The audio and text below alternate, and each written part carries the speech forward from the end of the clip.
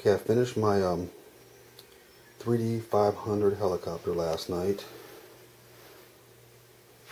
Got it all tested out, all the electronics installed, motor, battery, gyro, servos, speed controller, um, battery eliminator circuit, everything.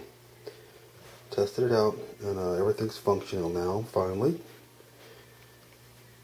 I have the old uh, crappy fiberglass blades on it for the first flight. I got some carbon fibers, but I don't want to put those on just yet. But anyway, today's going to be the maiden voyage.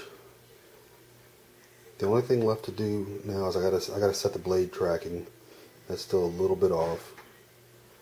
And then uh, hopefully the next video I show will be that big sucker in the air. I just finished weighing it. It's a little over three and a half pounds. It's about, I guess, 1,600 grams. Doesn't sound like a lot, but for an RC helicopter, it's pretty heavy. So hopefully it'll be nice and stable.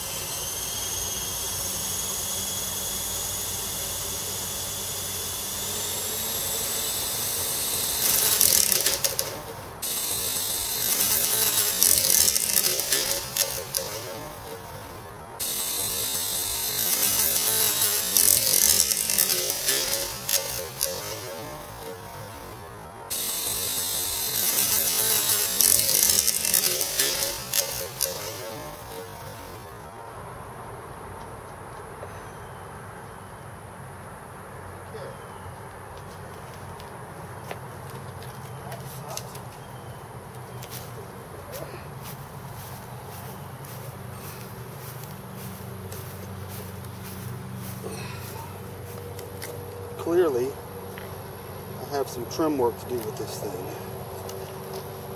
Alright, that's it. Let's go.